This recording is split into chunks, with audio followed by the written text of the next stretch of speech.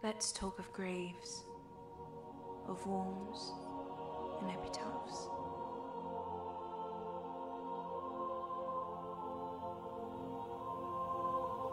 Let's talk of graves, of worms and epitaphs. Make dust our paper and with rainy eyes write sorrow on the bosom of the earth. Let's choose executors and talk of wills, and yet not so. For what can we bequeath save our deposed bodies to the ground? Our lands, our lives, and all our Bolingbroke's. And nothing can we call our own but death and that small model of the barren earth which serves as paste and cover to our bones.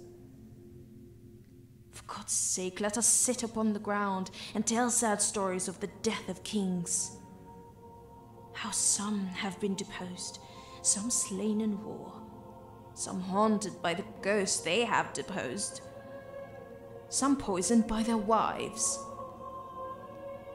some sleeping killed,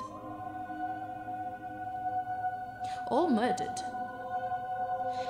For within the hollow crown that rounds the mortal temples of a king keeps death his court, and there the antic sits, scoffing his state and grinning at his pomp, allowing him a breath, a little scene, to monarchize, be feared, and kill with looks, infusing him with self and vain conceit, as if this flesh which walls about our life were brass impregnable, and humid thus comes at the last, and with a little pin bores through his castle wall and.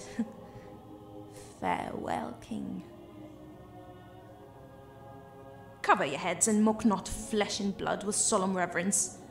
Throw away respect, tradition, form, and ceremonious duty. For you have but mistook me all this while.